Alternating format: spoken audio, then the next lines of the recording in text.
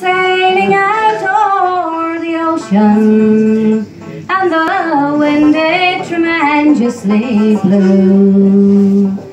On the deck stood a handsome fair maiden, whose features I ne'er saw before.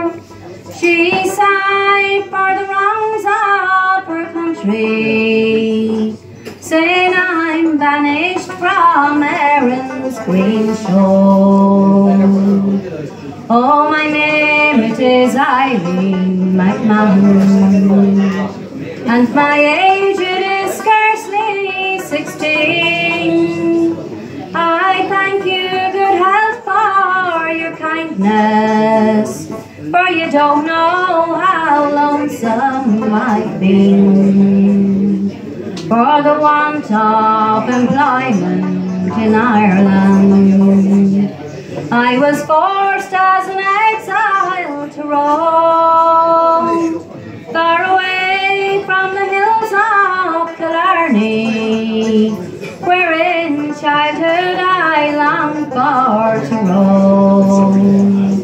Far away from the mountains and valleys, from the punch bowl to the Gap of Dunloe,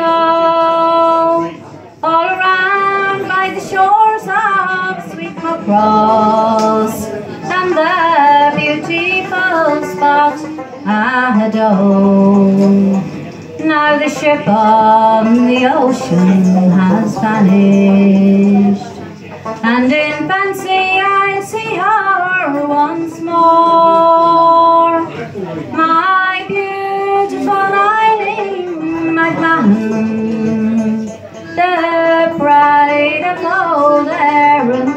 Good